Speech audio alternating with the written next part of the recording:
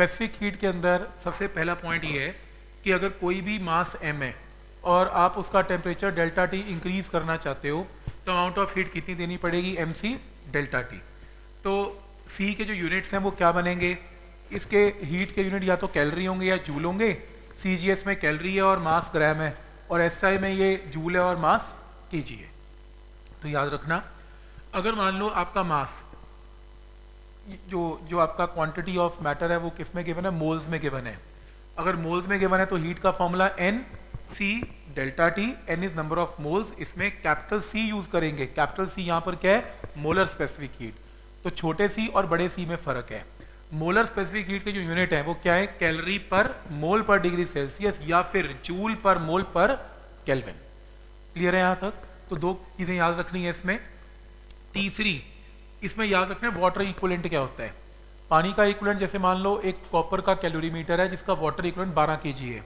तो मास तो उसका 12 के है और उसमें जो जो उसकी डेंसिटी है, वो आपने वाटर की यूज़ करनी है। इसको बोलते हैं वाटर इक्वलेंट कॉपर की डेंसिटी गिवन नहीं होगी या स्पेसिफिक हीट कॉपर की गिवन नहीं होगी।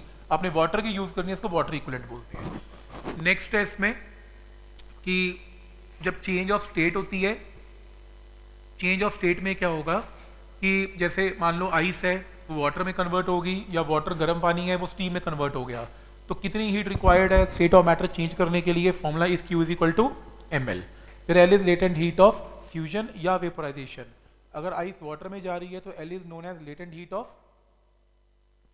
fusion और अगर स्टीम जा रहा है तो लेटेंट हीट ऑफ़ वेपोराइजेशन तो जब ये हीट लगती है और स्टेट ऑफ़ मैटर चेंज होती है तो उसमें टेम्परेचर का कोई चेंज नहीं होता। 100 डिग्री सेल्सियस पानी 100 डिग्री सेल्सियस हीट में कन्वर्ट हो जाएगा टेम्परेचर रिमेनिंग दी सेम इस पानी में कन्वर्ट हो जाएगी टेम्परेचर रिमेनिंग दी सेम तो इसमें रूल ये है हाँ अगर लेटेंट हीट अगर ना गिवन हो स्टीम की, या फिर वाटर की तो याद रखनी है लेटेंट हीट ऑफ़ वेपोराइजेशन की वैल्यू क्या होगी? 540 कैलोरी पर ग्राम और लेटेंट हीट ऑफ़ फ्यूजन क्या होगी? 80 कैलोरी पर ग्राम ये याद रखना, अगर ना गिवन हो, वैसे गिवन होती है क्वेश्चन में। अगर मान लो आपको माइनस एक डिग्री सेल्सियस आइस गिवन है और 150 डिग्री सेल्सियस स्टीम में कन्वर्ट करना है तो आप क्या करोगे? स्टेजेस बनाओगे। पहले माइनस एक आइस किसमें कन्वर्ट होगी? ज़ीरो डिग्री सेल्सियस आइस में। फिर स्टेट ऑफ़ मैटर क्या होगा? चेंज फिर zero degree Celsius water hundred degree Celsius water से, फिर स्टीम में और स्टीम फिर आगे स्टीम में। तो यहाँ पर जब स्टेट ऑफ़ इसमें जब टेम्परेचर चेंज हो रहा है तो Q is equal to M C delta T heat required है। जब स्टेट ऑफ़ मैटर चेंज हो रही है तो Q is equal to M L जब वाटर से वाटर टेम्परेचर चेंज हो रहा है M C delta T steam से स्टीम तो एम एल और फिर एम सी डेल्टा टी तो टोटल हीट इन तीनों को ऐड कर देना total heat can be calculated तो याद रखना है इसमें. नेक्स्ट है इसमें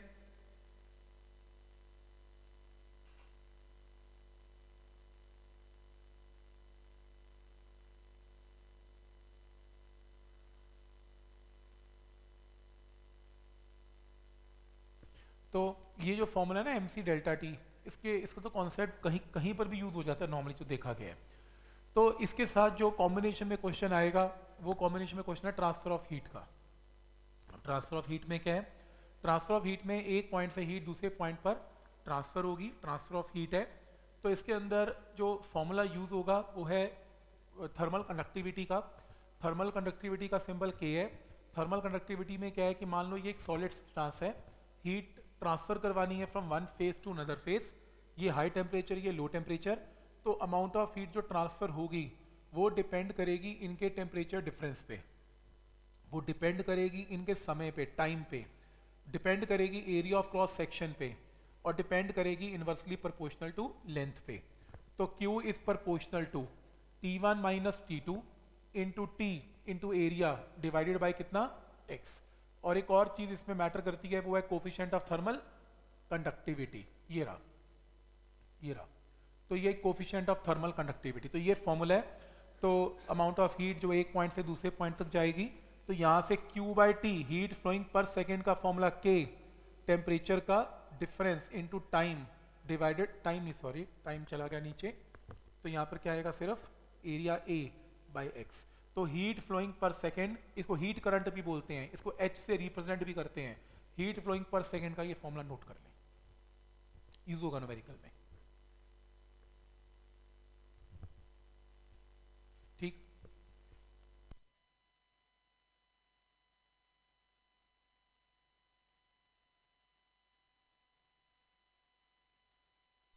ठीक है? नेक्स्ट है, ये मैंने फॉर्मूला लिख दिया। नेक्स्ट इसके अंदर जो याद होना चाहिए वो ये फॉर्मूला है कि जो रेजिस्टेंस होती है इलेक्ट्रिकल वो क्या होती है? पोटेंशियल डिफरेंस बाय करंट तो हीट के अंदर क्या होता है? Temperature difference by heat current तो Q का फॉर्मूला मुझे पता है। P नीचे आ गया तो हीट करंट आ गया। तो रेजिस्टेंस क्या होगी? Thermal resistance temperature difference by heat current इस एच को पूरे के पूरे नीचे डिवाइड करोगे तो फॉर्मूला नोट करो थर्मल रेजिस्टेंस का। तो थर्मल रेजिस्टेंस का formula delta x by K ये नोट करो। थर्मल रेजिस्टेंस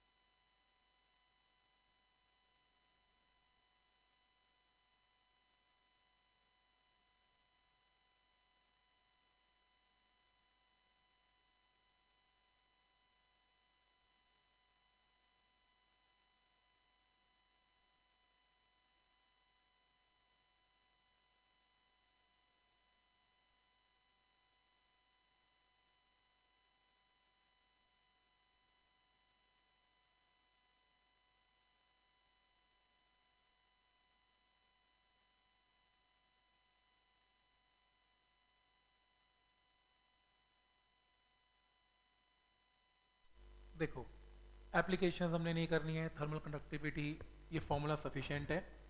इसके बाद जो नेक्स्ट है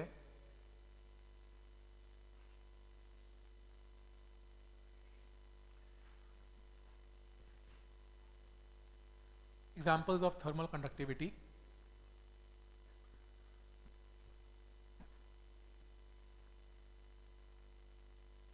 देखो, इस इस एग्ज़ाम्पल में थर्मल कंडक्टिविटी के एग्ज़ाम्पल में हम इस एग्ज़ाम्पल को करते हैं, ऐसे एग्जाम्पल्स आते हैं। कैसे?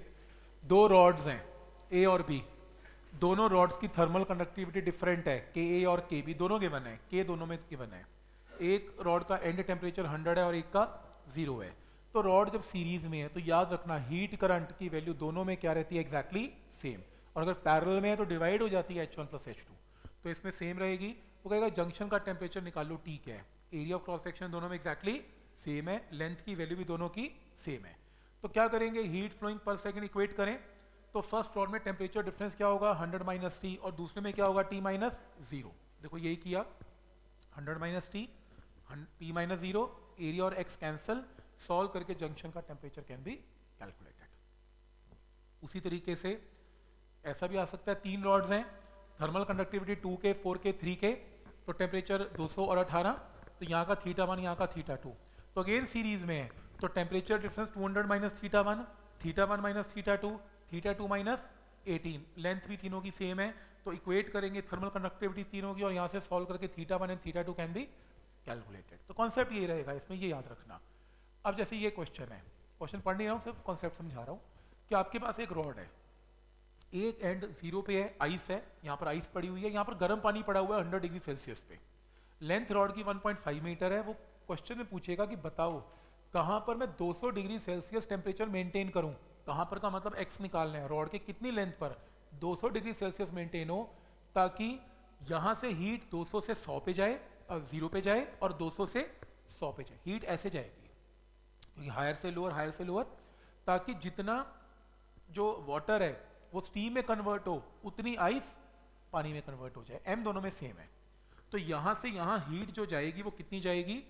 के ए दो सौ माइनस ज़ीरो बाई एक्स और ये क्या करेगी? आइस को मेल्ट करेगी। तो क्या आएगा? Q is equal to M L L is latent heat of fusion और जो हीट 200 से 100 पे जाएगी, इतनी हीट जाएगी, वो गर्म पानी को स्टीम में कन्वर्ट करेगी तो Q is equal to M L L is latent heat of steam दोनों को डिवाइड कर लेना।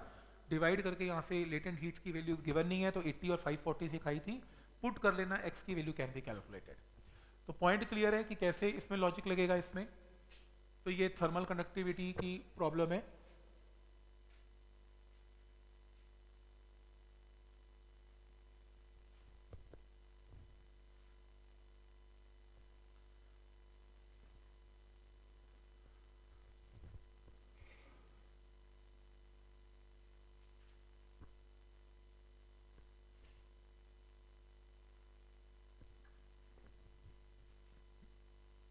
देखो, अगर दो रॉड्स हैं के वन के टू और वह सीरीज़ में कनेक्टेड हैं तो लेंथ एक की डी वन है, एक की डी टू है, और मैं ये चाहता हूँ कि दो रॉड की जगह एक रॉड लगे जिसकी इक्वलेंट थर्मल कंडक्टिविटी के हो तो K in terms of K one K two क्या होगा?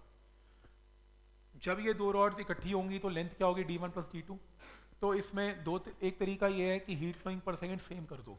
एक तरीका ये है कि टोटल रेजिस्टेंस क्या होगी नई रॉड की R one plus R two तो पहली रॉड की resistance D one by K one है, दूसरे की D two by K two है एरिया ऑफ़ क्रॉस सेक्शन पूरी रॉड्स का क्या रहेगा एग्जैक्टली सेम लेंथ डिफर कर रही है डी वन डी टू जो दो रॉड मिला के एक रॉड आएगी, उसकी लेंथ क्या होगी? D one plus D two area remaining the same तो एक तो ये फॉर्मूला आएगा, अगर डी भी दोनों में बराबर है डी डी डी कैंसिल तो यहाँ से सॉल्व करके बॉक्स में ये फॉर्मूला डालो सीरीज़ के अंदर ये formula two by K S is one by K one plus one by K two तो ये फॉर्मूला काम आएगा.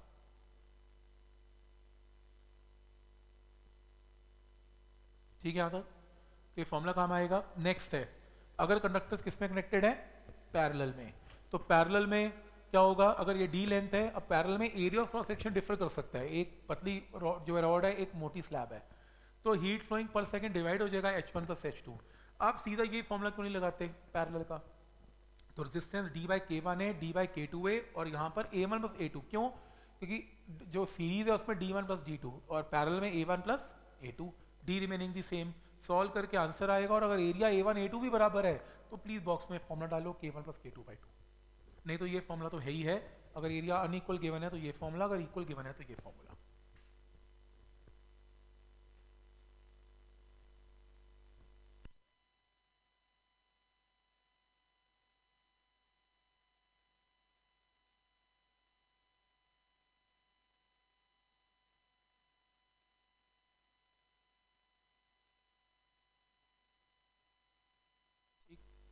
नेक्स्ट है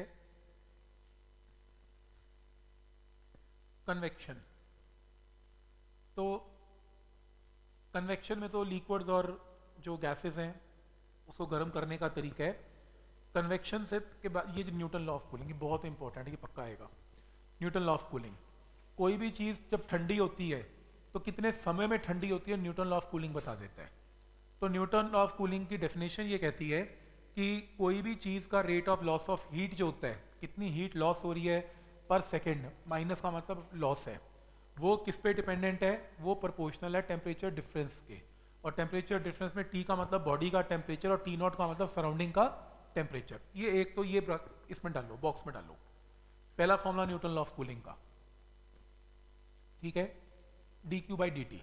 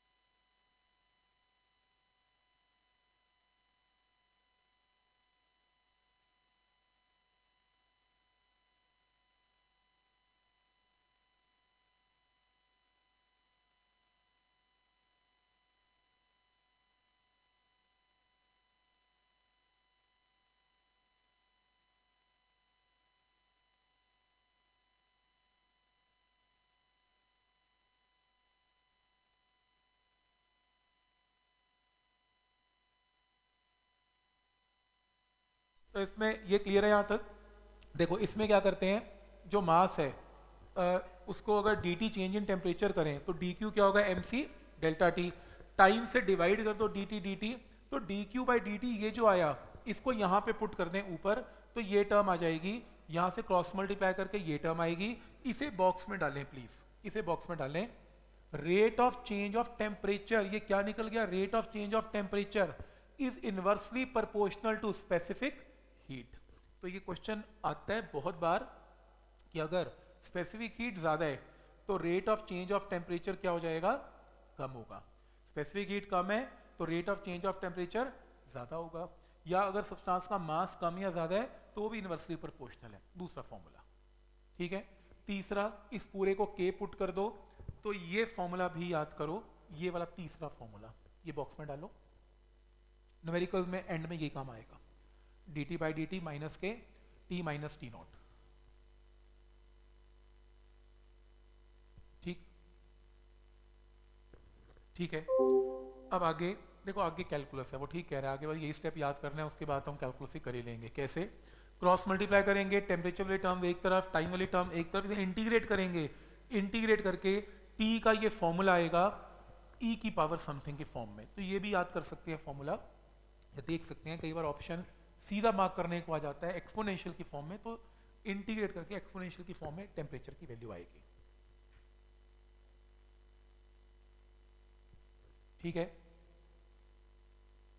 उसके बाद न्यूटन लॉ ऑफ़ कूलिंग में ये ग्राफ सीधा मार्क करने को आ सकता है कि चेंज इन टेम्परेचर और टाइम में क्या रिलेशन है। तो change in temperature T minus T naught है और टाइम में क्या रिलेशन है? एक्सपोनेंशियल रिलेशन है। तो मैथ्स के लोग समझते हैं कि ग्राफ एक्सपोनेंशियल बनेगा। मेडिकल के लोग याद ही करेंगे।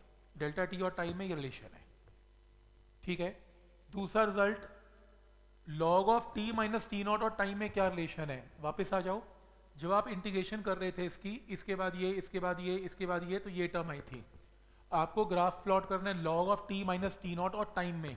तो ये वाई एक्सिस है, ये एक्स एक्सिस है। तो फॉर्मूला है Y is equal to M X plus C तो स्लोप इसमें क्या आएगी? माइनस के। तो याद कर सकते हैं मेडिकल वाले नॉन मेडिकल को समझ में आ रहा है। कि ग्राफ इसमें नेगेटिव स्लोप के साथ बनेगा। ठीक?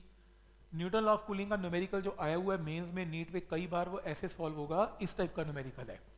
तो फॉर्मूला पहले याद कर लें D T by D T minus K T minus T naught where T naught is temperature of surrounding T का मतलब एवरेज टेम्परेचर और डी टी का मतलब change in temperature D T का मतलब टाइम तो मान लो एक चाय का कप है 60 डिग्री सेल्सियस से 40 डिग्री सेल्सियस पे सात मिनट में आ रहा है तो अगले सात मिनट में क्या टेम्परेचर होगा, ये क्वेश्चन है।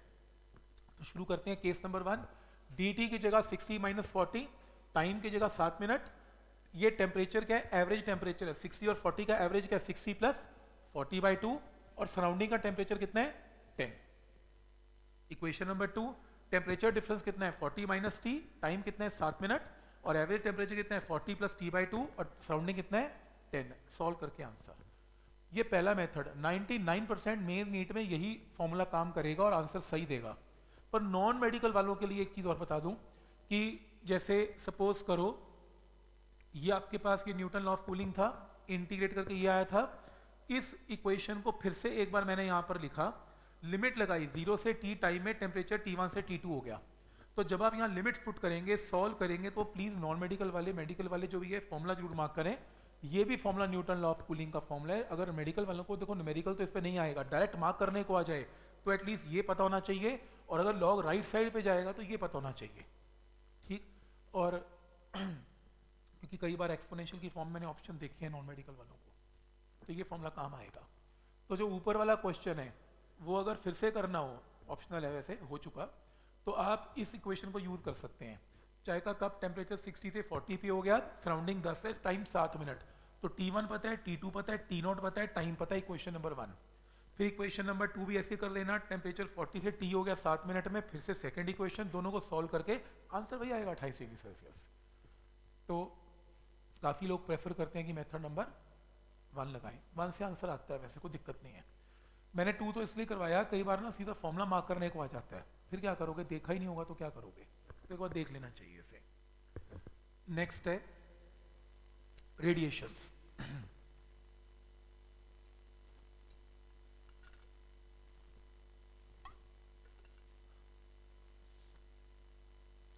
देखो जो रेडिएशन हैं, उसमें ये बताया गया है कि अगर मान लो क्यू अमाउंट ऑफ़ हीट किसी बॉडी पे गिरती है तो उस केस में वो कुछ अमाउंट ऑफ़ हीट को रिफ्लेक्ट करती है बॉडी कुछ एब्जॉर्ब करती है और कुछ ट्रांसमिट करती है in the form of infrared radiations तो अगर मैं इन्हें डिवाइड कर दूँ कैपिटल क्यू के साथ तो this is fraction of energy reflected fraction absorb fraction transmitted और फ्रैक्शन का sum is equal to one next है, इसमें कुछ डेफिनेशन हैं, बहुत ज़्यादा ज़्यादा नहीं करेंगे, काम की चीज़ करेंगे। पहली काम की चीज़ है एब्जॉर्प्टिव पावर एब्जॉर्प्टिव पावर का सिंबल है ए छोटा ए और ये फ्रैक्शन ऑफ़ एनर्जी एब्जॉर्ब है. That is energy absorb divided by energy incident तो ये पहली डेफिनेशन नोट करें स्मॉल ए तो ये फ्रैक्शन ऑफ़ एनर्जी एब्जॉर्ब है.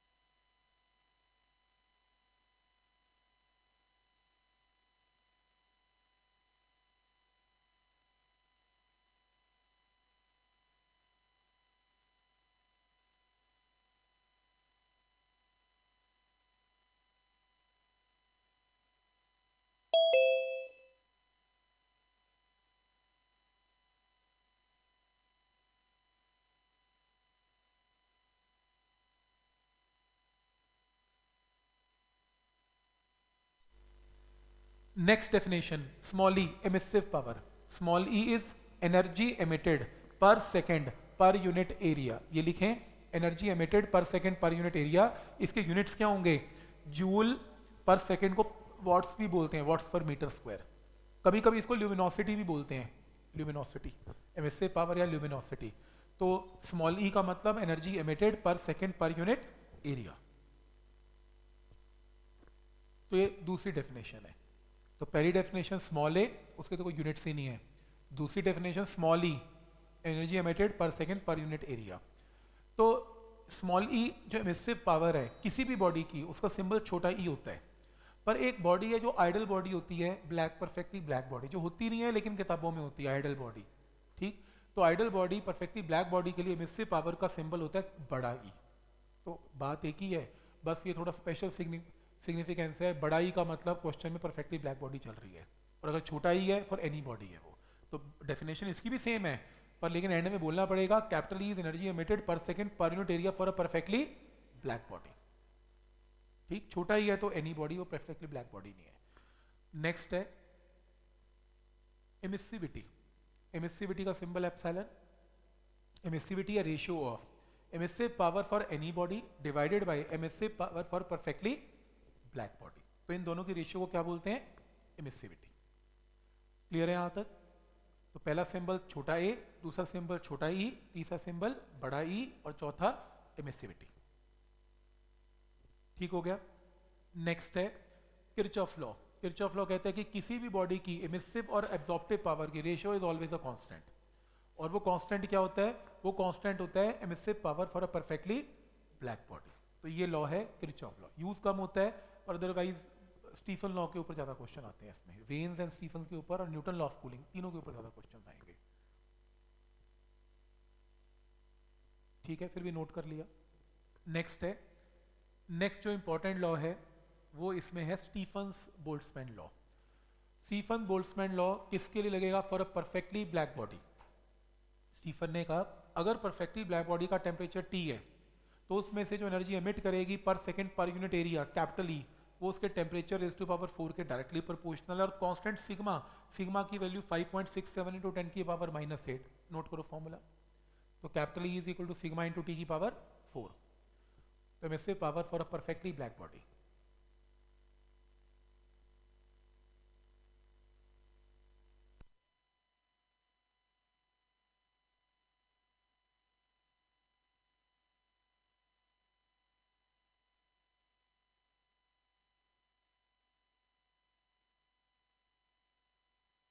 next है अब सपोज़ कई बार ऐसा होगा कि कैपिटल ई e का मतलब क्या है?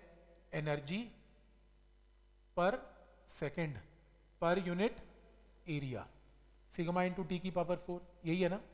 तो आप ऐसा भी कर सकते हो इसमें कि आप एरिया को राइट साइड पे ले जाओ। तो क्या बनेगा? एनर्जी पर सेकेंड जिसको एच लिख सकते हो पी लिख सकते हो पावर भी लिख सकते हो।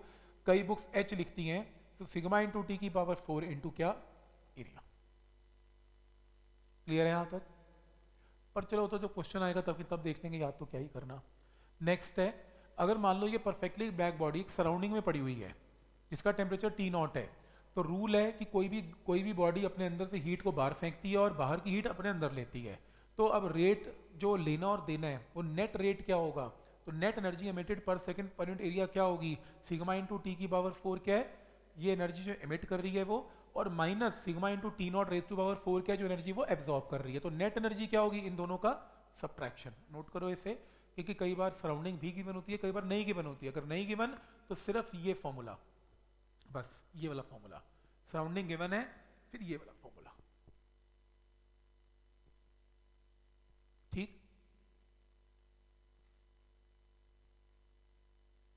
नेक्स्ट है इमिसिविटी क्या होती है? Small E by capital E. तो कैपिटल ई क्या है? Small E by epsilon emissivity. तो for perfectly black body sigma into T की पावर फोर कैपिटल ई था और कैपिटल ई e की जगह क्या पुट किया? ई बाई इमिसिविटी तो स्मॉल ई e क्या हुआ? Emissivity into sigma into T की पावर फोर यानी कि अगर आपको एमिसिव पावर निकालनी है फॉर एनी बॉडी तो परफेक्टली ब्लैक बॉडी का जो भी रिज़ल्ट है, उसको एमिसिविटी से क्या करना पड़ेगा? मल्टीप्लाई तो इसको मल्टीप्लाई करेंगे। जैसे ये क्वेश्चन है, जैसे इसके अंदर when body not a perfectly black body ये गलत है। ये स्मॉल ही आएगा यहाँ पे। जब बॉडी परफेक्टली ब्लैक बॉडी नहीं है तो क्या बनेगा? सिग्मा इंटू टी की पावर फोर को मिसिविटी से मल्टीप्लाई इस रिज़ल्ट को भी मिसिविटी से मल्टीप्लाई तो कुल मिला के अगर हम बात करें, अभी तक हमने किया क्या? तो इस पूरे चैप्टर में पहली चीज़ हमने ये की। पहली चीज़ हमने ये की स्मॉल ए स्मॉल ए का मतलब fraction of energy absorb E का मतलब energy emitted per second per unit area capital E का मतलब energy emitted per second per unit area for perfectly black body emissivity क्या है? इन दोनों का ratio next Stefan law perfectly black body के लिए लगेगा. Capital E is equal to sigma into T की पावर फोर और अगर ये परफेक्टली ब्लैक बॉडी नहीं है तो इमिसिविटी से क्या करना पड़ेगा? मल्टीप्लाई और अगर आपको परफेक्टली ब्लैक बॉडी के लिए सराउंडिंग का टेम्परेचर भी गिवन है तो आप इन दोनों को क्या करेंगे? माइनस और एमिसिविटी क्या होगी? इसको, इससे क्या करना पड़ेगा? माइनस ये लो. तो क्या पॉइंट क्लियर है? बस पूरे चैप्टर को इसमें समेट दिया. खत्म. ठीक है? एक वेन डिस्प्लेसमेंट लॉ ज़रूर रह गया, वो थोड़ी देर में करेंगे. तो अभी हम क्या करेंगे? इसमें, इसके ऊपर न्यूमेरिकल जैसे क्वेश्चन है, देखो.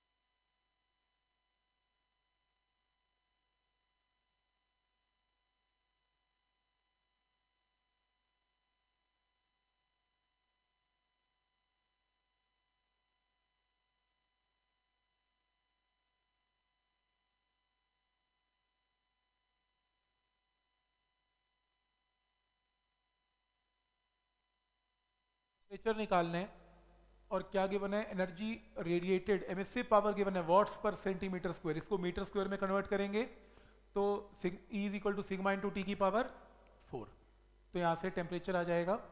जैसे ये क्वेश्चन है इस क्वेश्चन की क्या खास बात है? Luminosity of star is 17,000 times that of sun luminosity क्या है? Energy emitted per second per unit area तो ये E1 E2 की रेशियो गिवन है। एक सन है और एक स्टार है। तो आपको ये दोनों रेशियो सन और स्टार ये सब परफेक्टली ब्लैक बॉडीज हैं। और वैसे भी, जिन क्वेश्चन में मिसिविटी नहीं गिवन वो तो पक्का ही परफेक्टली ब्लैक बॉडी है। तो ये दो रेशियो निकाल लो। आपको इसमें ये रेशियो गिवन है ई ई टू की। टेम्परेचर ऑफ़ एक प्लानट सन गिवन है तो स्टार का निकालना आंसर आ जाएगा। तो स्टीफन लॉ लगेगा इसके अंदर भी।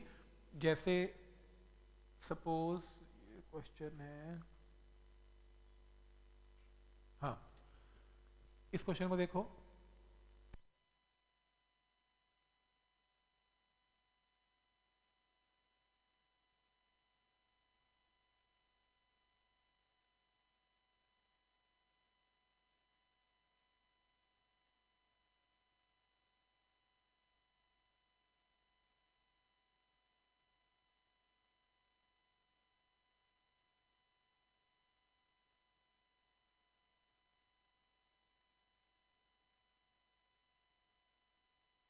At what temperature will the filament of 100 watt lamp operate?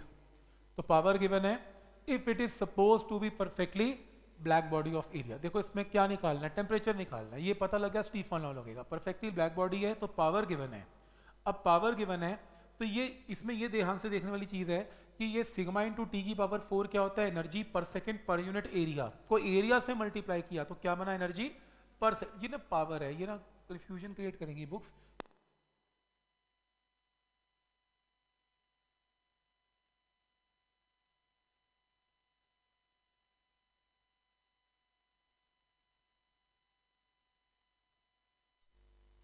ठीक है? तो आप एनर्जी पर सेकेंड को क्या लिख सकते हैं? पावर लिख सकते हैं। अब टेम्परेचर आ जाएगा। ठीक है? आसान क्वेश्चन है, वैसे तो कोई दिक्कत नहीं है इसमें। जैसे, ये थे ये क्वेश्चन देखो, ऐसे बहुत आते हैं क्वेश्चन पढ़ना।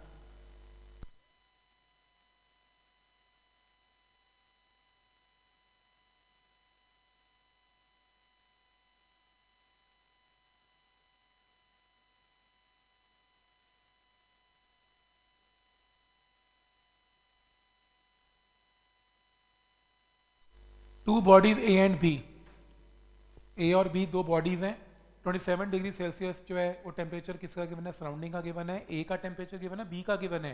Compare rates at which heat is lost from A and B तो आपको टेम्परेचर ऑफ़ सराउंडिंग गिवन है. ए पता है बी पता है. तो ये फॉर्मूला लगेगा, जब सराउंडिंग का टेम्परेचर गिवन होता है तो ए से इतनी एनर्जी एमिट होगी पर second per unit area B से इतनी होगी, आपको रेशियो निकालना है दोनों को डिवाइड कर लेना। ठीक है? तो ये क्वेश्चन आपको आ सकते, आते हैं ऐसे क्वेश्चन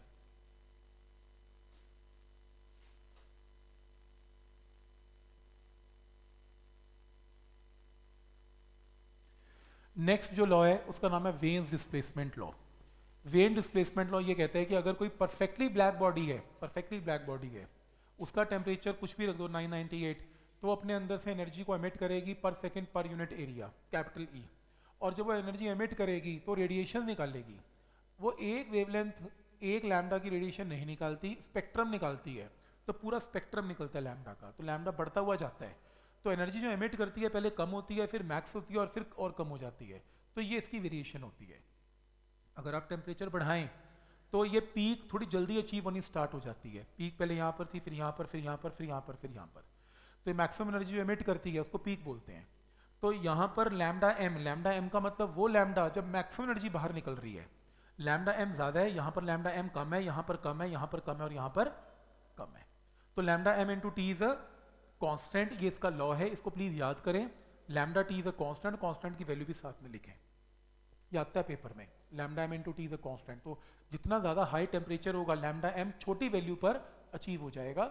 मैक्सिमम एनर्जी छोटी लैमडा पे बाहर आनी स्टार्ट हो जाएगी।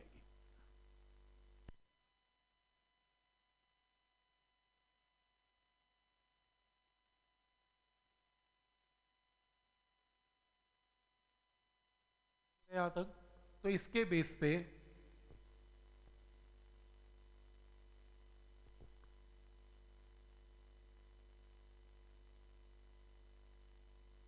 थ्योरी है, ठीक है।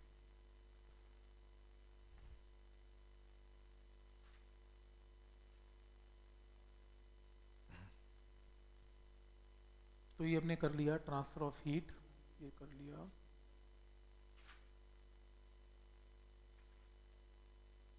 हाँ ये टाइप का क्वेश्चन नॉन मेडिकल वालों के लिए स्पेशली कि अगर मान लो आपके पास एक शेल है, ये शेल है, ये पिंक कलर का, जिसका अंदर का रेडियस ए और बाहर का बी है तो ये टेम्परेचर बड़ा है और ये टेम्परेचर छोटा है तो हीट ट्रेवल करेगी फ्रॉम हायर टू लोअर बाहर से अंदर एंटर करेगी।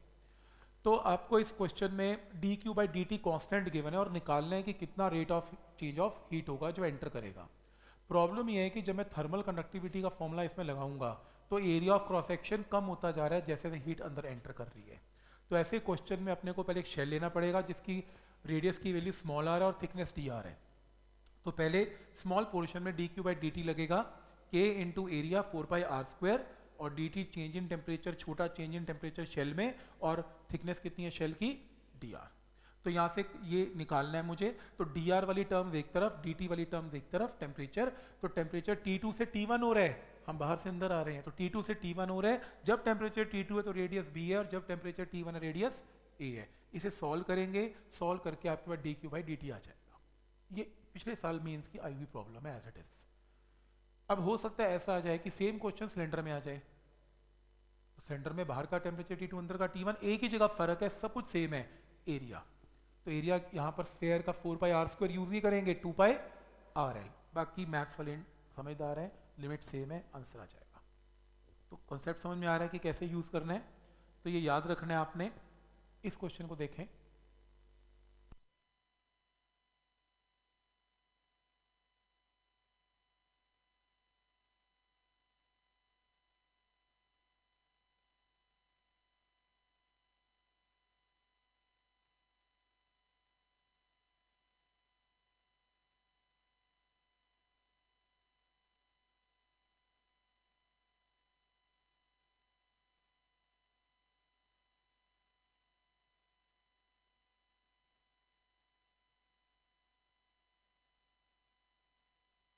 तो इस क्वेश्चन के अंदर temperature of an ordinary bulb is around 3000 kelvin at what wavelength will it radiate maximum energy temperature वो आपसे पूछ रहा है और वेवलेंथ पूछ रहा है। टेम्परेचर देके वेवलेंथ पूछ रहा है तो Wien displacement law. Lambda into T is a constant तो अगर विजिबल में लाई करती है कि नहीं करती तो विजिबल की रेंज है। आपकी वेवलेंथ इतनी है, अगर लाई करती है तो यस लाई करती है, नहीं तो नहीं लाई करती।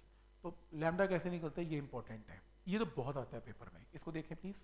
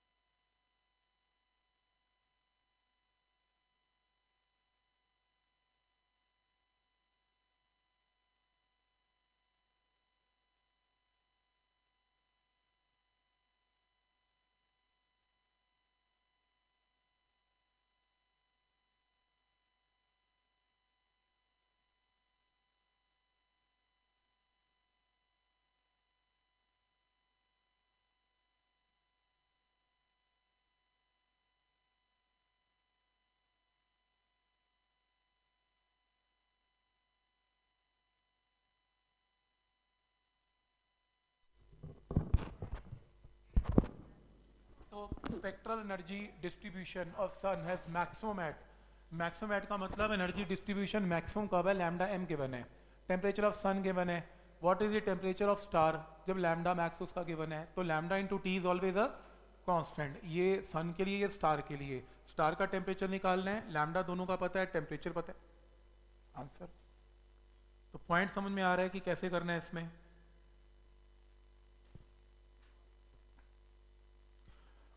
देखो, या तो क्वेश्चन आएगा थर्मल कंडक्टिविटी और ये ट्रांसफ़र ऑफ़ हीट में से एक। या फिर क्वेश्चन आएगा कानेटिक थ्योरी ऑफ़ गैस इसमें से तो 101 परसेंट आएगा। के में से पक्का आएगा। और तीसरा क्वेश्चन आएगा फ़र्स्ट और सेकेंड लॉ ऑफ़ थर्मो तीन क्वेश्चन आने हैं मेंस के अंदर। कम से कम चार या पाँच क्वेश्चन आने हैं नीट के अंदर। बहुत बड़ा यूनिट है इलेक्ट्रोस्टैट से बड़ी वेटेज रखता है ये। कम, बराबर तो रखता ही है कम से कम। बड़ा यूनिट है ये। इसको छोड़ के नहीं जाना चाहिए, अच्छे से करके जाना चाहिए। ठीक है? तो इसके अंदर कानेटिक थ्योरी ऑफ़ गैसेज की अगर हम बात करते हैं तो पहला फॉर्मूला चलो ये अच्छा है, इसमें फॉर्मूलाज ही फॉर्मूलाज हैं और कुछ है नहीं खास। तो पहला formula pressure exerted by the gas एक कंटेनर में गैस है गैस ने एवरेज प्रेशर क्या लगाया? ये फॉर्मूला याद रखें। One by pressure is equal to one by three rho V square ये वी आर एम एस होती है R M S speed of molecule तो प्लीज़ नोट करें average pressure is one by three into rho V square ये पहला formula है। ठीक है? और दूसरा फॉर्मूला इसमें कुछ करने की ज़रूरत नहीं है, ये सब आगे जाके करवाऊँगा मैं, इसकी कोई ज़रूरत नहीं है। हाँ ये। दूसरा फॉर्मूला एवरेज वेलोसिटी मॉलिक्यूल की क्या होती है? एक ये फॉर्मूला नोट करें, और एक ये वाला फॉर्मूला बस दो नोट करें। एवरेज वेलोसिटी की वैल्यू किसी भी गैस के मॉलिक्यूल के इसके इक्वल होती है। इसमें छोटा एम एक मॉलिक्यूल का मास है, मॉलिक्यूल का मास है, और कैपिटल एम एक मोल का मास है। ठीक? जब भी पर मॉलिक्यूल में काम करना हो तो यहाँ पर के टी यूज़ होगा, और पर मोल में हमेशा आर टी यूज़ होगा। के टी आर टी जब भी के टी का रिज़ल्ट है, पर मॉलिक्यूल चलेगा आर टी का रिज़ल्ट पर मोल चलेगा। तो आसान है ना याद करना। आप इसमें पर मॉलिक्यूल याद कर लो। पर मोल में जाना है तो छोटा एम बड़ा एम बन जाएगा और के टी आर टी बन जाएगा। हो गया? उसी तरीके से आर एम एस विलोसिटी एक ये याद करो under root of three R T by M इसके ऊपर पक्का क्वेश्चन आएगा। और एक ये याद करो थ्री के टी बाई एम अब वो पर मॉलिक्यूल है और ये पर मोल है मोल के लिए। तो प्लीज़ दोनों फॉर्मूला नोट करें। आरएमएस के ऊपर तो केटीजी में बहुत क्वेश्चंस हैं। ठीक है? उसी तरीके से RMS velocity directly proportional to under root of temperature है और inversely proportional to capital M A for a given temperature तो आरएमएस का ये भी फॉर्मूला नोट करें आरटी की जगह पीवी पुट कर सकते हैं, जहाँ जहाँ आरटी वहाँ वहाँ पीवी तो under root of three PV by M ये भी नोट कर सकते हैं।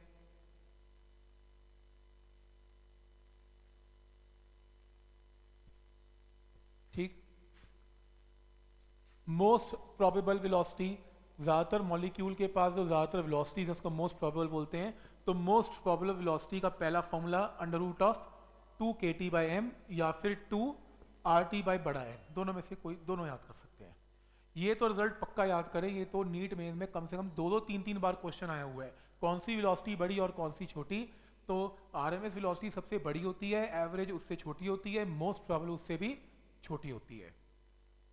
मेन्स वालों ने लास्ट ईयर ये डाला ये वी आर कर दिया वी एवरेज कर दिया और वी मोस्ट प्रोबेबल कर दिया। तो इन इक्वालिटी विल चेंज ये ऑप्शन में देखेगा आपको, देखना प्रीवियस ईयर पेपर में।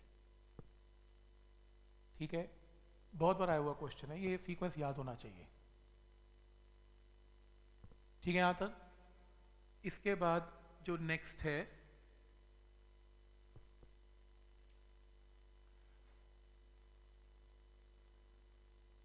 जो 151 शीट है ना, इसके अंदर ना ये बेसिक शीट है, जिसमें केमिस्ट्री के लॉज लगा के दिखाए हैं। P V V by T constant P V constant तो ये नहीं करेंगे। इस शीट में basic P V N R T की क्वेश्चन है। तो कुछ नई चीज़ नहीं है इसमें। जो ये जो वेलोसिटीज पे काम किया था R M S velocity average velocity ये मैक्सवेल ने किया था। तो मैक्सवेल ने डिस्ट्रीब्यूशन दी थी। मैक्सवेल ने कहा था कि ये डिस्ट्रीब्यूशन है मॉलिक्यूल्स की स्पीड की। तो ये नंबर ऑफ़ मॉलिक्यूल्स हैं पर यूनिट वेलोसिटी और ये वेलोसिटी की का ग्राफ है। तो डिस्ट्रीब्यूशन ऐसे है आर एम एस वेलोसिटी सबसे बड़ी है, फिर एवरेज है और फिर मोस्ट प्रॉपेबल है। राइट साइड की वेलोसिटी बड़ी है और लेफ़्ट साइड की छोटी है। मैंने बता दिया आपको। इसमें यह दिखाने वाली चीज़ यह है कि अगर आपने टेम्परेचर गैस का बढ़ा दिया तो आपकी वेलोसिटी सभी वेलोसिटीज बढ़ जाएँगी। टेम्परेचर से वेलोसिटीज बढ़ती हैं। तो आपका ये ग्राफ शिफ्ट हो जाएगा टूवर्ड्स राइट अगर टेम्परेचर कम है तो लेफ़्ट में रहेगा और ज़्यादा है तो बढ़ जाएगा। क्योंकि सभी वेलोसिटीज़ में इंक्रीमेंट देखा जाएगा। ठीक? और इस शीट में कुछ नहीं करना आपने। कुछ नहीं है इसमें। नेक्स्ट है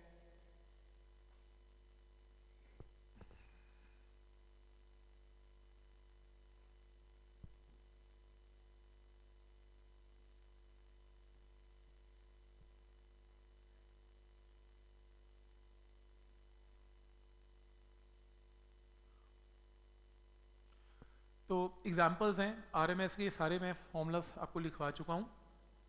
एग्ज़ाम्पल है, जैसे ये क्वेश्चन है।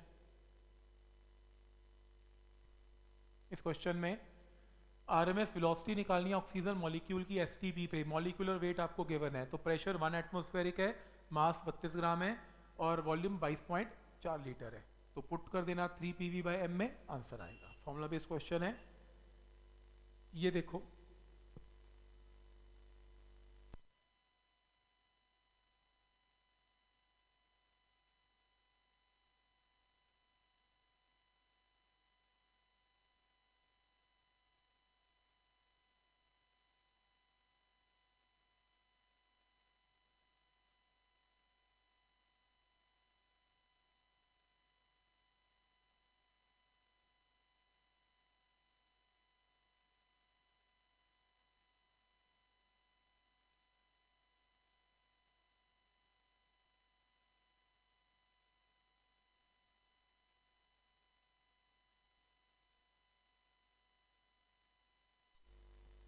RMS speed of oxygen molecules at certain temperature T is V temperature double कर दिया, ऑक्सीजन टूट गया, इसमें अटोमिक ऑक्सीजन में आर स्पीड निकालो।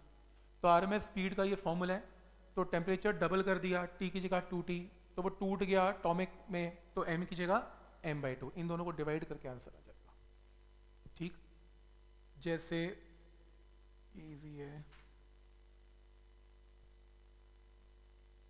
ये देखो। इसके अंदर temperature at which R M S velocity of the gas molecule is doubled its value at 27 degree Celsius pressure of the gas remaining the same तो आपको टी टेम्परेचर निकालना है, जब R M S velocity double हो जाएगी।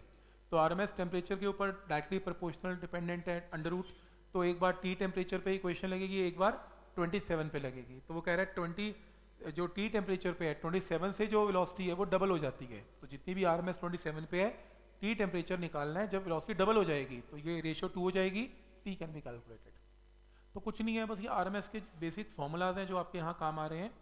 ये formula भी RMS का है प्लीज़ ये फॉर्मूला कैसे है नोट कर लेना।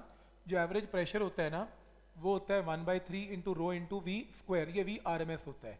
तो यहाँ से भी वी आर का फॉर्मूला बन जाएगा थ्री पी बाई रो का अंडर रूट ठीक है यहाँ तक? तो ये वैल्यू है।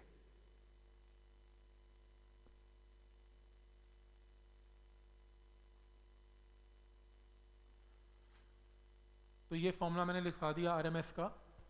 Mean kinetic energy per molecule of a gas देखो, ये यहाँ से करने की ज़रूरत नहीं है, मैं आपको किसी और तरीके से करवाऊँगा ये। आप इसमें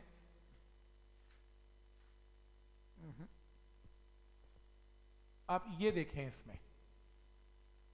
जो मैंने ऊपर स्किप किया ना energies of a gas molecule वो ये लंबे तरीके से के से हम एनर्जीज निकाल सकते हैं, हम निकालेंगे नहीं। हम एक लॉ करेंगे law of equipartition energy उससे एक सेकंड में आंसर आएगा, हम उससे करेंगे। तो ये ऊपर के फॉर्मूलाज फ़ायदा नहीं है, कोई यूज़ भी नहीं करेगा उन्हें। तो मैं आपको इसी और तरीके से करवाऊँगा अभी। ये देखें। तो दो परफेक्ट गैसेज है T one T two temperature are mixed तो लॉस ऑफ़ एनर्जी नहीं है। टेम्परेचर ऑफ़ मिक्सचर निकालो M one M two molecules के मास हैं और N one N two number of molecules हैं। तो रूल वही है कि एवरेज कार्नेटिक एनर्जी जो है वो सेम रहती है। तो अगर मोनोटॉमिक गैस है तो हम देखेंगे तो मोनोटॉमिक गैस की एक मॉलिक्यूल की energy three by two K T होती है और N one number of molecules हैं तो पूरे गैस की एनर्जी है।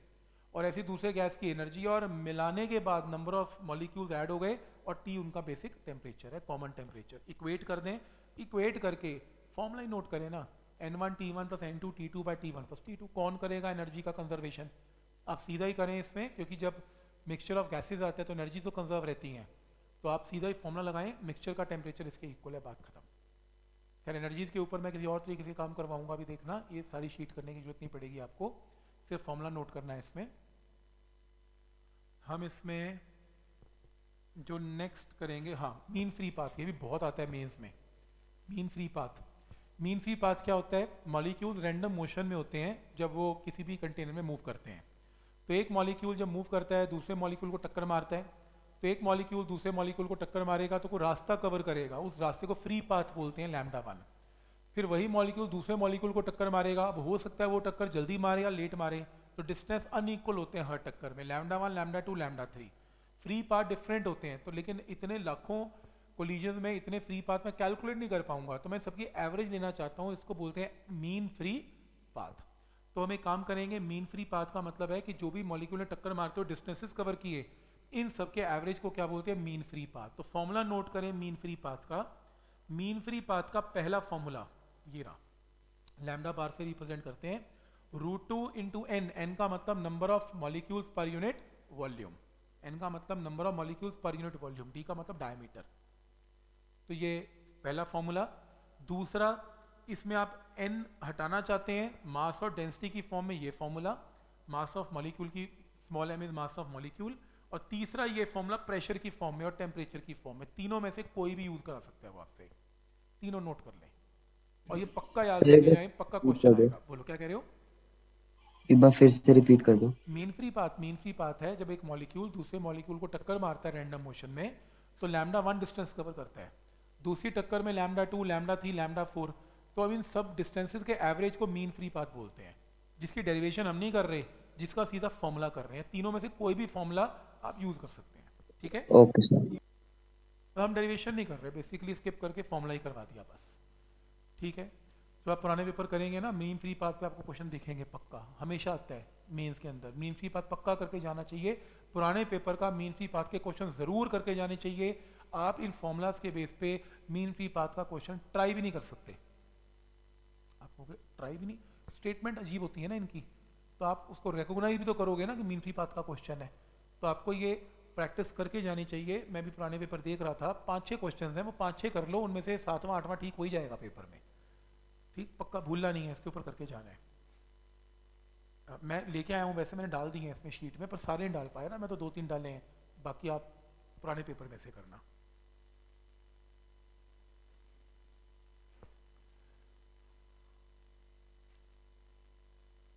जैसे ये question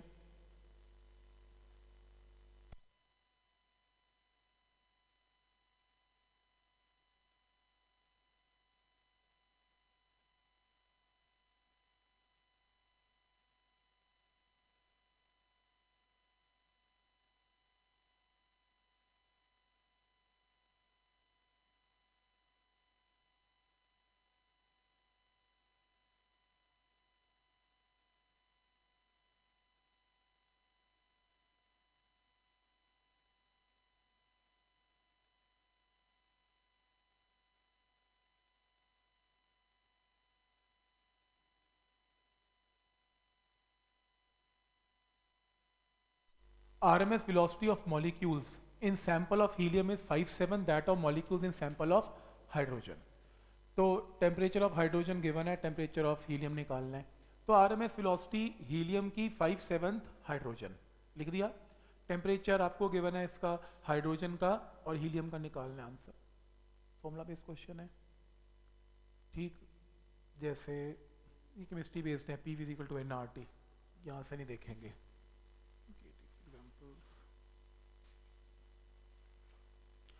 ये बहुत इंपॉर्टेंट है डिग्री ऑफ़ फ्रीडम का कॉन्सेप्ट डिग्री ऑफ़ फ्रीडम है क्या चीज़? डिग्री ऑफ़ फ्रीडम है एफ़ से रिप्रेजेंट करते हैं कि कितनी एनर्जी एक मॉलिक्यूल के पास एग्जिस्ट कर सकती है, उसको डिग्री ऑफ़ फ्रीडम बोलते हैं। अब नंबर ऑफ़ एनर्जी तीन टाइप की होती है ट्रांसलेशन रोटेशन एंड वाइब्रेशन तो होता क्या है? ट्रांसलेशन रोटेशन क्योंकि एटम या मॉलिक्यूल रैंडम मोशन में चल भी रहा है ट्रांसलेट भी कर रहा है, घूम भी रहा है और हो सकता है हाई टेम्परेचर पे वाइब्रेट भी करे। वाइब्रेशन की एनर्जी हालाँकि लेनी नहीं होती जस्ट अगर बहुत हाई टेम्परेचर है तो ही लेनी होती है। तो तीन टाइप की एनर्जी है, जैसे मोनोटॉमिक गैस है। मोनोटॉमिक गैस में एक एटम है, कुछ भी नहीं है इसमें, वो रैंडम मोशन में कहीं भी मूव कर सकता है तीन एक्सेस पे। तो उसके पास तीन तो ट्रांसलेशन एनर्जीज हैं। उसके बाद तीन ट्रांसलेशन है और रोटेशन उसके पास है नहीं, क्योंकि वो एटम है ही इतना छोटा एक्सिस भी उसके अंदर से पास कर रहा है तो उसका रेडियस ऑलमोस्ट ज़ीरो है तो रोटेशन काउंट नहीं करते तो कितनी डिग्री ऑफ़ फ्रीडम है इसकी? तो याद रखना मोनोटॉमिक गैस की डिग्री ऑफ़ फ्रीडम हमेशा क्या रहेगी? तीन। नेक्स्ट है डायटोमिक गैस ये डायटोमिक गैस है, ये रैंडम मोशन में तीन ट्रांसलेशन कैरी करता है और जब ये घूमेगा तो एट अ टाइम दो एक्सिस के अबाउट घूमेगा, या एक्स वाई या वाई जेड या जेड एक्स तो दो रोटेशन कैरी करता है तो टोटल डिग्री ऑफ़ फ्रीडम कितनी होगी? पाँच। तो यही याद रखना है डिग्री ऑफ़ फ्रीडम मोनोटॉमिक की तीन डायटोमिक की पाँच, और अगर क्वेश्चन में एक्सप्लिसिटली गिवन हो कि वाइब्रेशन भी है, दिया होता है। मेंस के अंदर देखो, पुराने पेपर में दिया होगा वाइब्रेशन भी लो तो आपने दो वाइब्रेशन की और काउंट करनी है तो आपके पास क्या बनेगी? सात। ठीक है यहाँ तक सात। वैसे वाइब्रेशन आती नहीं है, तीन और पाँच में काम चल जाता है। ट्रायटॉमिक में अगर मॉलिक्यूल ट्राइंगुलर शेप है तो तीन ट्रांसलेशन की, तीन रोटेशन की तो छः तो याद रखना ट्राइटॉमिक की ट्रायंगुलर शेप में क्या बनेगी? छः और अगर लीनियर शेप है तो इसमें तो आपकी तीन और दो ही बनेगी यानी कि पाँच। तो मोटा मोटा याद करेंगे, मोनोटॉमिक गैस की डिग्री ऑफ़ फ्रीडम तीन, डायटोमिक की पाँच, ट्राइटॉमिक की ट्राइंगल की छः और लीनियर की पाँच। बस, ये डिग्री ऑफ़ फ्रीडम याद रखनी है। और इसमें कुछ नहीं करना।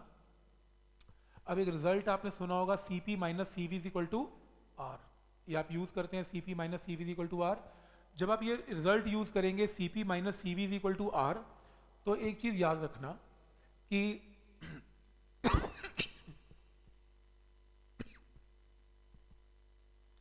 सीपी सी वी आर इस रिज़ल्ट में सी कौन सा है? छोटा की बड़ा। मोलर वाला है या सिंपल स्पेसिफिक हीट वाला है? मोलर वाला है, क्योंकि कैपिटल आर मोल्स में। ऐसे ही होता है। देखो, एक चीज़ याद रखना, अगर कैप अगर ये कैपिटल सी मोल्स में तो चलेगा ही। अगर कैलोरीज में चल रहा है कैलोरीज पर मोल तो फिर तो आर की वैल्यू पुट करनी पड़ेगी दो। कैलोरी, कैलरी तो कैलरी में तो दो होती है। और अगर ये जूल में चल रहा है, मोल्स और जूल में तो फिर 8.31 ठीक? एक चीज़ याद रखना, जो कैपिटल सी है, capital C is always equal to capital M into small C क्यों? क्योंकि पर केजी होता है। पर केजी को पूरी गैस के मास से मल्टीप्लाई करेंगे तो पर मोल बन जाएगा। तो इसीलिए यह भी यूज़ किया जाता है कैपिटल एन छोटा सी यानी कि normal specific heat normal specific heat is equal to R तो CP minus CV is equal to R by M तो छोटे सी में ये रिलेशन है, बड़े सी में ये रिलेशन है, इसलिए हम बड़ा सी यूज़ करते हैं, क्योंकि इसमें कैपिटल एम का चक्कर नहीं होता। पता होना चाहिए इसमें। ठीक? नेक्स्ट इसमें रिज़ल्ट है law of equipartition energy law of equipartition energy हमें यह बताता है कि अगर आपके पास डिग्री ऑफ़ फ्रीडम मान लो थ्री है, या फाइव है, या सिक्स है, या फाइव कितनी भी है, एक degree of freedom for one degree of freedom freedom energy associated जो होती है वो हाफ़ के टी होती है। एक डिग्री ऑफ़ फ्रीडम की एनर्जी हाफ़ के टी होती है। तो सोचो अगर मैं एक मॉलिक्यूल लूँ, एक मॉलिक्यूल लूँ मोनोटॉमिक गैस का लेता हूँ। मोनोटॉमिक गैस की डिग्री ऑफ़ फ्रीडम कितनी होती है? तीन। एक डिग्री ऑफ़ फ्रीडम की एनर्जी कितनी है? हाफ़। के टी तो एक मॉलिक्यूल की एनर्जी क्या होगी? Three into half K T क्योंकि एक मॉलिक्यूल की डिग्री ऑफ़ फ्रीडम होती है, इसमें कितनी? तीन। तो मोनोटॉमिक है तो तीन का मतलब तीन इंटू हाफ़ के टी एक मॉलिक्यूल की एनर्जी है। अगर मैं इसको नंबर ऑफ़ मॉलिक्यूल से मल्टीप्लाई कर दूँ तो पूरे गैस की एनर्जी आ जाएगी। तो एक मॉलिक्यूल की energy three into half K T और नंबर ऑफ़ मॉलिक्यूल्स एन तो पूरी गैस की एनर्जी आएगी। क्लियर है यहाँ तक? यही किया हुआ ये देखो। इसमें यही किया है। एक एक डिग्री ऑफ़ फ्रीडम की एनर्जी हाफ़ के टी और अगर एफ़ डिग्री ऑफ़ फ्रीडम चाहे तीन चाहे पाँच तो F into half K T तो एक मॉलिक्यूल की आ गई और नंबर ऑफ़ मॉलिक्यूल्स कितने मान लो एड्रोज नंबर तो पूरी गैस की आ गई वन मोल की आ गई। एन इंटू के क्या होता है? आर तो ये F R T by two note करो। U for energy internal energy होती है गैस की यू तो U का फॉर्मूला क्या आ गया? F R T by two अब सोचो, अगर ये मोनोटॉमिक गैस हुई तो डिग्री ऑफ़ फ्रीडम में F क्या पुट करेंगे? थ्री तो मैं वो छोड़ रहा था ना शीट्स का एनर्जी वाली three by two R T वो यही थी. तो three by two R T monatomic gas per mole और अब पर मॉलिक्यूल होगी तो three by two K T R T को रिप्लेस कर दो के टी तो पर मॉलिक्यूल आ जाएगी. डायटोमिक गैस में डिग्री ऑफ़ फ्रीडम कितनी है? पाँच। तो पर मोल क्या आएगी? Five by two R T per molecule क्या आएगी? Five by two K T याद हो गया फॉर्मूला बस। F R T by two ठीक है? ये फॉर्मूला याद करेंगे। स्पेसिफिक हीट सीवी की वैल्यू डिग्री ऑफ़ फ्रीडम की फॉर्म में F R by two F R by two वैसे आया कहाँ से? ये एक इंपॉर्टेंट कॉन्सेप्ट है। हम फ़र्स्ट लॉ में करेंगे। फ़र्स्ट लॉ में जब डीयू की कैलकुलेशन होती है, उसमें सीवी यूज़ करते हैं। शायद केमिस्ट्री में सुना हो आपने कि सीवी के अंदर इंटरनल एनर्जी इंक्रीज होती है। तो यहाँ से क्रॉस मल्टीप्लाई करके C V D U by D T U को पुट करो डिफ्रेंशिएट करो। करने की ज़रूरत नहीं है, वैसे बता रहा हूँ। हम बाद में करेंगे इसे। ये फॉर्मूला नोट करो। सी वी का एफ़ आर बाई टू और सी पी का one plus F by two into R तो जैसे मोनोटॉमिक गैस है तो एफ़ कितने? तीन। तो सी वी क्या होगा? थ्री आर बाई टू यहाँ पर तीन पुट करोगे सी पी आ जाएगा। इन दोनों को डिवाइड करेंगे सीपी एंड सीवी तो क्या आएगा? गामा। ये मेंस में पूछ लिया क्वेश्चन पिछले साल। Gamma is equal to one plus two by F note करो। ये फॉर्मूला के ऊपर क्वेश्चन आते हैं। ठीक है यहाँ तक? तो गामा की वैल्यू भी आ गई एफ़ की फॉर्म में। सही गामा होता क्या है? गामा अब केमिस्ट्री में करते नहीं? Gamma CP by CV Poisson ratio बोलते हैं इसे। ओके सर हाँ केमिस्ट्री का gamma. PV raise to power gamma is a constant gamma CP by CV की रेशियो होती है। तो सीपी माइनस सीवी आर होता है सीपी बाय सीवी गामा होता है। इन दोनों को साइमल्टेनियसली सॉल्व करेंगे। सीपी सीवी का एक और फॉर्मूला नोट करो। काफ़ी यूज़ होता है ये भी। CV is R by gamma minus one CP is gamma into R by gamma minus one ये भी नोट करो। कोई भी यूज़ होगा सीपी सीवी कहीं पर भी।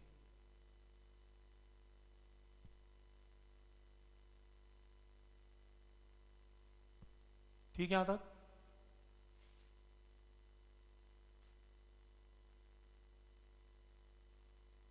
मिक्सचर ऑफ़ गैसेस के फॉर्मूले अगर मान लो दो गैसेस हैं जिनका मोलर मास m1 m2 है और गैसेस को मिक्स करते हैं तो पहला formula n1 m1 n2 m2 by n1 plus n2 पहला फॉर्मूला दूसरा फॉर्मूला जब गैसेस को ऐड करेंगे, मिलाएँगे तो इंटरनल एनर्जी दोनों की ऐड हो जाएगी एनर्जी लॉस नहीं है.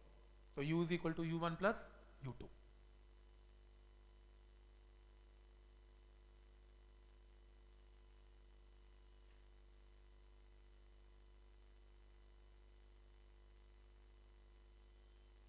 ठीक है?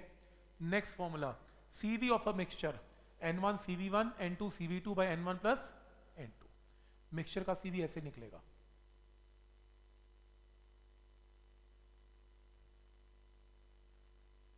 ठीक मिक्सचर का सीपी ऐसे निकलेगा। N1 CP1 N2 CP2 N N1 plus N2 तो मिक्सचर का CV मिक्सचर का सीपी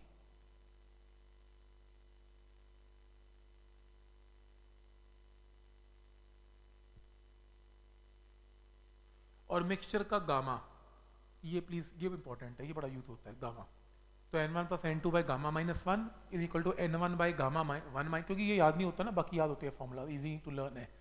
ये ये नोट करें। अगर मिक्सचर का गामा वन पता है गामा टू पता है एन वन पता है एन टू पता है तो मिक्सचर का गामा ऐसे निकलेगा। Gamma C P by C V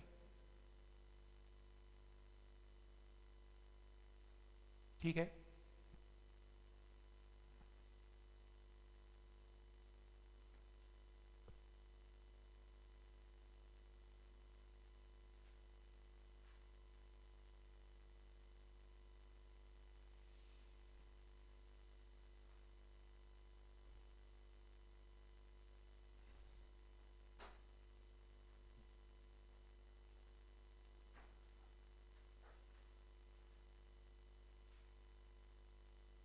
question है।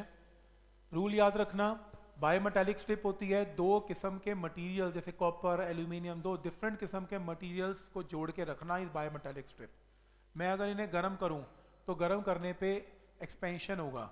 एक ज़्यादा होगा, एक कम होगा, क्योंकि क्वेश्चन में गिवन है कि अल्फ़ा ए का बड़ा है और अल्फ़ा बी का छोटा है। तो याद रखना बेंड हो जाएगी, ठीक है? क्योंकि एक ज़्यादा एक्सपैंड होगी, एक कम होगी, लेकिन बेंड कैसे होगी? राइट की लेफ़्ट याद रखना लेफ़्ट होगी जो हार्ड वाला है जो ज़्यादा एक्सपैंड नहीं करता, और जो एक्सपैंड करता है, जो ज़्यादा एक्सपैंड होता है, वो बेंड हो जाता है। और किस तरफ़ बेंड होता है, जो कम एक्सपैंड करता है, वो उसको बेंड करता है। तो इसलिए टुवर्ड लेफ़्ट आंसर देना है आपने।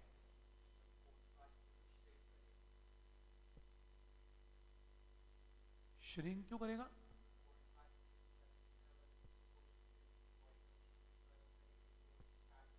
हाँ ठीक है ठीक है। तो इसमें दो केस बनते हैं फिर। हम ऐसे डिस्कस दो केस बनेंगे।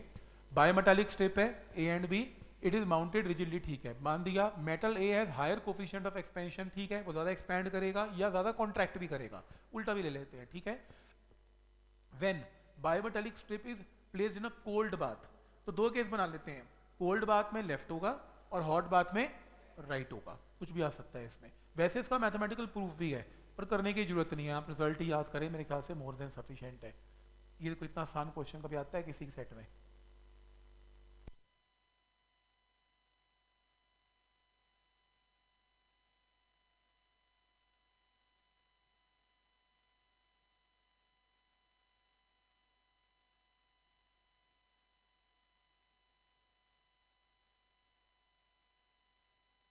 क्वेश्चन है कि एक क्यूब है साइड ए है, गरम किया वॉल्यूम वाइज गरम होगा।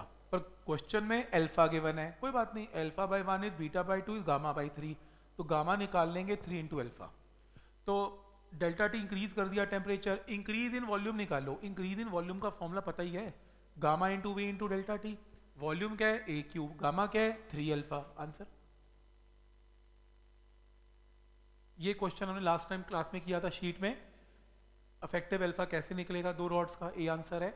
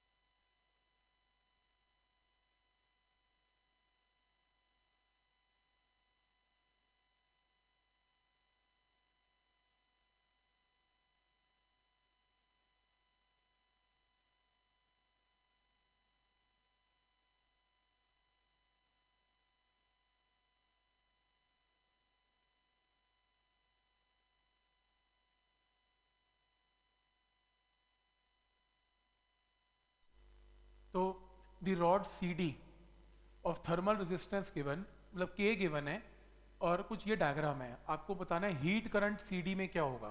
पी हीट करंट का मतलब क्यू बाई टी तो इसमें रूल ये लगेगा कि ये मान लो जंक्शन का टेम्परेचर है यहाँ पर टी तो यहाँ से हीट आएगी क्यू बाई टी यहाँ से हीट आएगी क्यू बाई टी दोनों मिलेंगी और यहाँ पे चली जाएँगी। तो क्यू बाई टी यहाँ लगेगा क्यू बाई टी यहाँ लगेगा, दोनों को ऐड करके, यहाँ भी क्यू बाई टी के इक्वल जो भी लगेगा इक्वल कर देना है। तो सॉल्व करके सबसे पहले क्या आएगा? टी फिर यहाँ और यहाँ हीट फ्लोइंग पर सेकेंड का formula Q by T answer आएगा। तो पहले इसका कॉमन टेम्परेचर निकलेगा जंक्शन का, फिर आंसर आएगा। राइट लंबा क्वेश्चन है, पर चलो, फिर भी किया जा सकता है।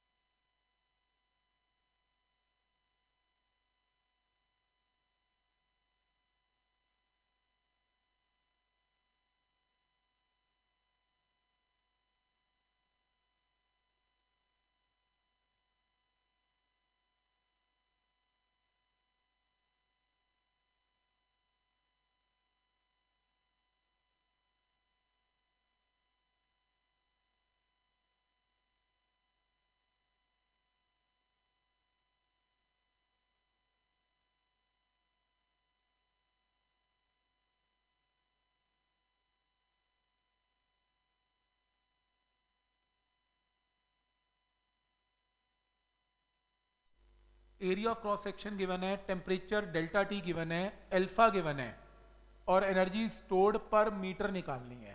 देखो, बड़े, बहुत चलाकी से क्वेश्चन बना है। एनर्जी स्टोर्ड और इसमें यंग मॉडल्स भी गिवन है। अब फॉर्मूला यंग मॉडल्स का लगेगा। एनर्जी स्टोर्ड का फॉर्मूला तो मुझे पता है half into F into delta L energy stored per meter निकालनी है। तो कुछ भी नहीं करना, आप इसको पर मीटर से दोनों साइड्स को डिवाइड कर, या ऐसा कर लो जैसे इसने किया। एनर्जी पर यूनिट वॉल्यूम का फॉर्मूला था half into Y into strain square volume right side पे चला गया एरिया इंटू लेंथ तो क्या आ गई एनर्जी आपको एनर्जी पर यूनिट लेंथ निकालनी है। तो अब आपको डेल्टा एल अल्फ़ा की फॉर्म में लिखना पड़ेगा। थर्मल एक्सपेंशन आंसर वैसे वो ज़्यादा बेटर है। Half into F into delta L length से डिवाइड कर लो और फोर्स को यंग मॉडल्स की फॉर्म में कन्वर्ट कर लो। खुद ट्राई कर लो आसान क्वेश्चन है। नेक्स्ट है आ, नहीं चाहिए। आसान है। ये वाला हाँ स्पेसिफिक हीट का ये क्वेश्चन आया है।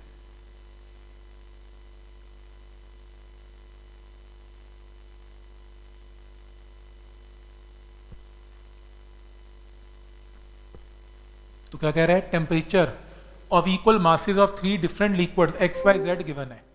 टेम्परेचर गिवन है। Temperature of mixture when X और वाई मिक्स 16 हो गया। मिक्सचर का टेम्परेचर वाई जेड मिक्स हुए तो 26 हो गया। एक्स जेड में मिक्स हुए तो क्या हो गया? कैलोरीमेट्री है। देखो कैसे? पहले वो कह रहा है कि एक्स और वाई मिक्स हो गया। तो एक्स के पास M C delta T Y की M C delta T mix हो गया तो कॉमन टेम्परेचर हो गया टी फ़र्स्ट इक्वेशन फिर वो कह रहे हैं कि वाई और जेड मिक्स हो गया। तो वाई का टेम्परेचर z का y की हीट जेड की हीट और कॉमन हीट तो एक और इक्वेशन आ गई। अब वो कह रहे हैं एक्स और जेड मिक्स हो गया। तो एक्स और जेड मिक्स हो गया। तो ये t डैश निकालना है अब करते रहना सॉल्व तीन इक्वेशन को। टी डैश निकलेगा। मतलब क्वेश्चन देखो कैसा बनाया? नॉर्मल नहीं बनाया? कि Q M C delta T लगा लो एम लगा लो आंसर आ गया। थोड़ा सा मिक्सचर के ऊपर बना दिया। पर चलो, ठीक है डिफरेंट क्वेश्चन है। ये देखो।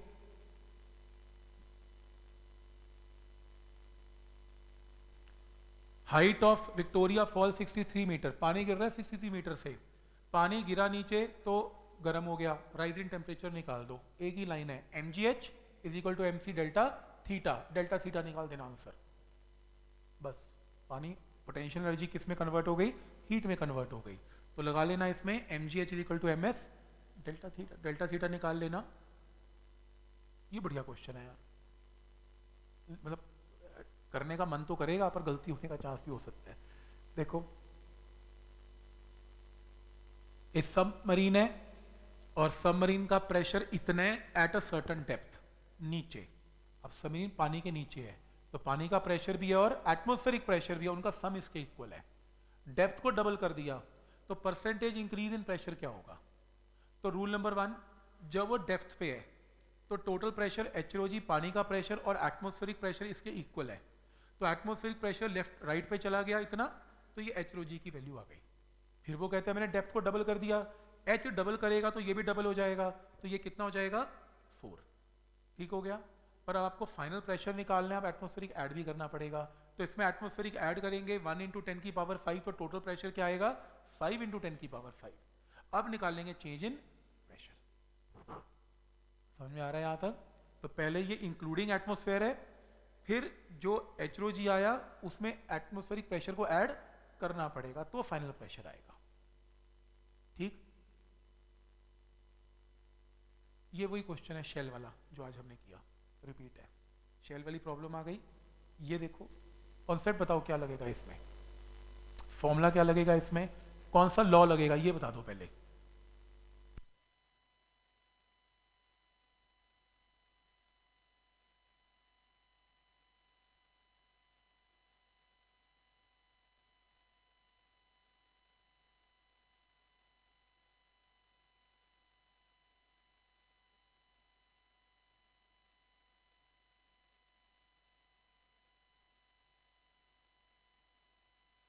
लॉ कौन सा लगेगा? Newton law of cooling, delta T time, delta T by D T. तो जब आप स्लोप निकालोगे तो delta capital T by D T. तो वो क्या पूछ रहा है? इसमें रेशियो ऑफ़ स्पेसिफिक हीट बताओ। आज मैंने बताया था, जो डेल्टा, जो ये जो डेल्टा टी बाय जो टी होता है, इनवर्सली प्रोपोर्शनल टू स्पेसिफिक तो जिसकी स्लोप ज़्यादा है इसकी स्लोप निकाल, इसकी स्लोप निकाल स्पेसिफिक हीट की रेशियो इनवर्सली प्रोपोर्शनल आंसर मैंने बोला था स्पेसिफिक हीट के साथ क्वेश्चन आता है। ठीक? A body takes four minute 61 से 15 चाय का कप ठंडा हो रहा है, वही सेम क्वेश्चन है। वैल्यूज़ चेंज करके आंसर थर्मल कंडक्टिविटी का कॉम्बिनेशन K1 K2 आज हमने कर लिया।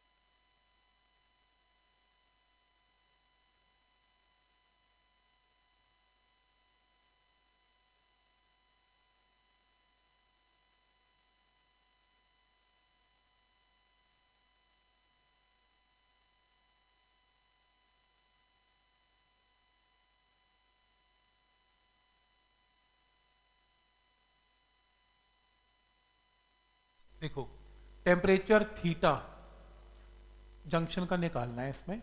इसमें क्या होगा? तो इसमें heat flowing per second will remain same